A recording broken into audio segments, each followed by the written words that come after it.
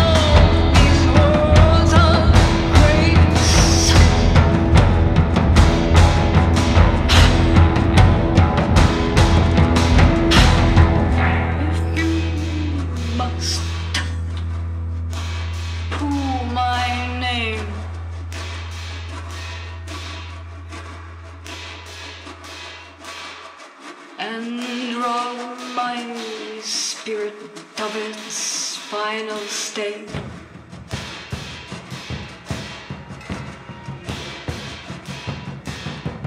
How do you deconstruct fear?